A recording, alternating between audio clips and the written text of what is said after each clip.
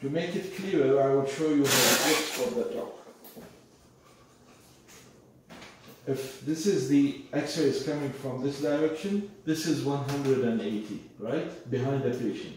And this is the 90 degree. You're going to stand on this area, even if it is less than 2 meters. Okay? Now, you can stand either on this side,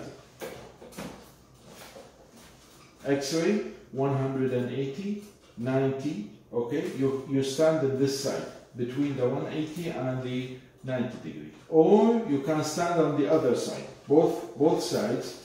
This is the 180, this is the 90, so you can stand either in this uh, position or in this position. This is if you're doing an X-ray for the upper central incisors. Repeat, X-ray scattered radiation which has generated here, you, you are not allowed to stand in this area. You will be subjected to scattered radiation. So, 90 degrees to the beam, you stand behind it, either on this side or on this side. This is if you're doing the upper central incisors or the lower central incisors. Both positions, upper central, lower central. 180 to the beam, this is the beam. 180 to the beam, okay? 90 degrees perpendicular to the beam, and then you stand in between, either in, in, in this direction in this direction or in this direction and uh, this is if you don't have a 2, millimeter, two meter distance. If you're doing the premolars and the molars, then the sensor holder, again I'm using this pin, huh? These are the, for the premolars, then you ask the patient to bite.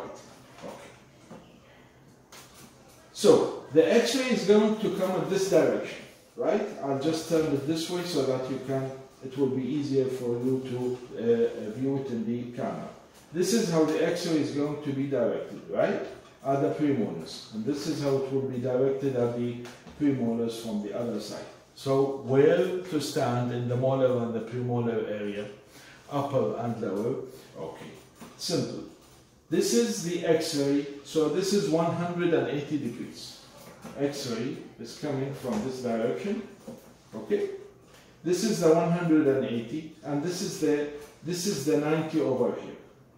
So where where will I stand? 180, and this is the 90. 180, 190, uh, 90.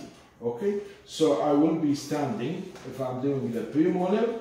Then I will stand behind the patient's head at an area of between located between 180 and 190. So it will be in either this direction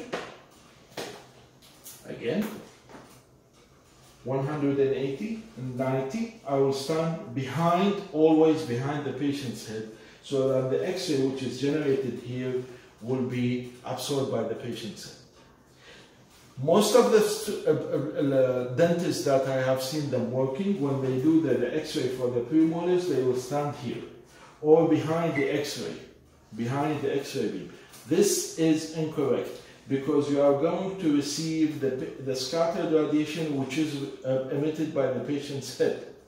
Okay? This will not prevent radiation from to, to come to you. So you're being uh, exposed to the scattered radiation. If you're doing the premolar on the other side, don't stand behind the beam. Huh? You stand 180, 190, you stand in this direction. Premolars, 180, 90, you stand here. So that the patient's head will absorb the scattered radiation.